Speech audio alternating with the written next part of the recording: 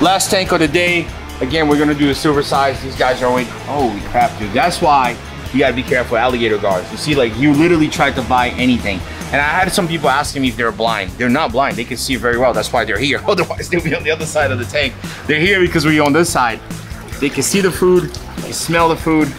They're just insane. Like the way they look, their eyes. Look, the goonch, when he smells it, he start coming out for it. That is a very rare fish right there.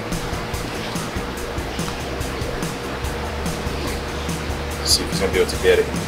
Got it. I'm gonna throw some more. I'm gonna try to throw some back there to go next to the goonch. All right, now come on this side. Some might fall right on top of him. He's gonna eat. Watch.